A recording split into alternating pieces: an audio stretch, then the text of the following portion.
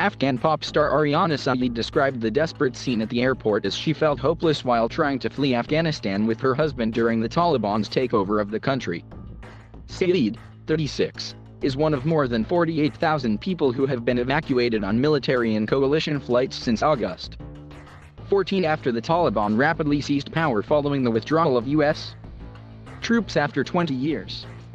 The pop star, who has a British passport, went on a four-day journey through multiple countries that ended with her arriving safely in Los Angeles on August 21.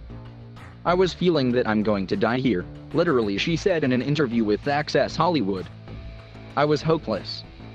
This is like a miracle that we're getting out.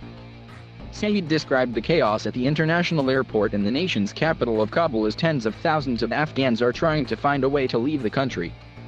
So many women were fainting, and they would just try to get them out of the crowd and there was no space, no space to even take them out, and they were just stuck there, she said. At least 20 people have died in the past week at the airport while trying to escape, a NATO oh. official told Reuters on Sunday. The dense crowds left many gasping for air, including a woman and her baby who were right near Sayeed. Small babies screaming, crying, women crying. Right now I have shivers on my hands talking about it, she said. It was just unbelievable. The baby was screaming, and I was like, oh my god, this baby is going to die any minute now. The U.S. Embassy has now moved to the airport and the State Department is telling people who aren't eligible for evacuation to stay away for their own safety. Sayeed described how close she came to being unable to leave the country.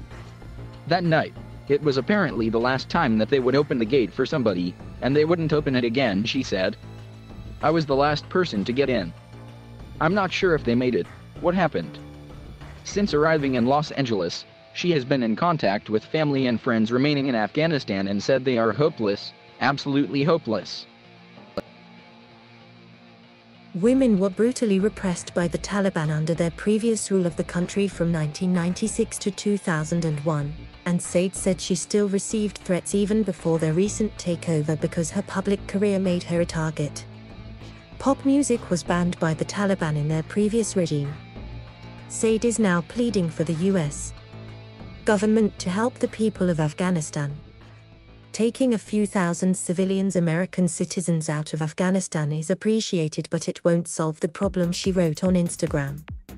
What about the millions who are left behind in total chaos? Thousands of them displaced with no shelter, no food to eat and nowhere to go. What will happen to them? The US, government has set a deadline of August 31 to finish its evacuations, and the Taliban has warned of consequences if that deadline is extended. Sayeed plans on continuing to advocate for the people of Afghanistan as the Taliban institutes a new government. I am trying to still work from here, spread the word and ask the world to help those innocent people, Sayeed said. That's all I can do, and I'm not going to give up.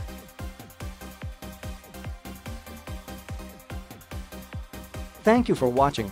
Please subscribe